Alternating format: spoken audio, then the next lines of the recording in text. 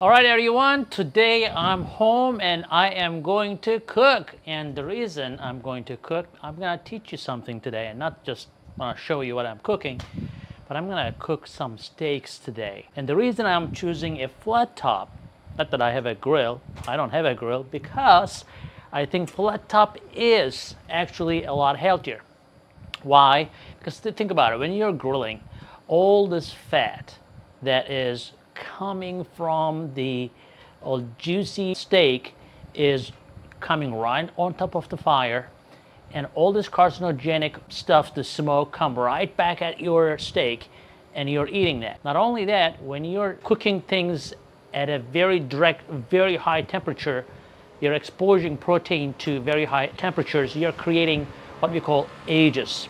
So the best is to slowly, nicely cook on a flat top without having a direct touch to the fire. That will give you a great taste, but also a good, healthy meal without the carcinogens in it. So now steaks are going right on there, nice and sizzly.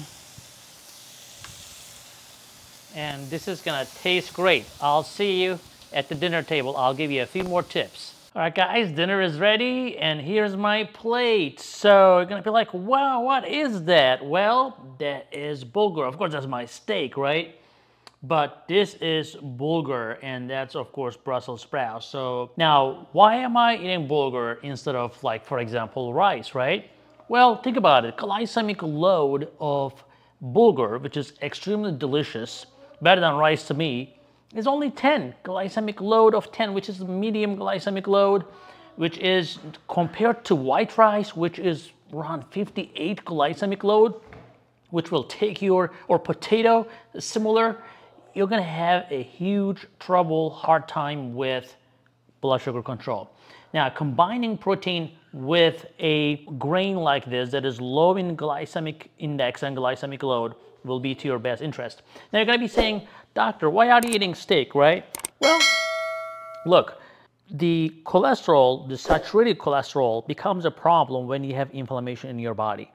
So if you're diabetic, if you have chronic kidney disease, lung disease, heart disease, etc., you have inflammation in your body. So you have to be very careful with the saturated fat. So I recommend people who have inflammatory disease to have maybe once or twice a week steak, preferably grass-fed, grass-finished. Now, I am eating maybe twice a week and I'm very healthy. I don't have any inflammation in my body. So saturated fat is not your enemy. But if you already have inflammation, saturated fat can increase the risk of atherosclerosis, which has been proven many times.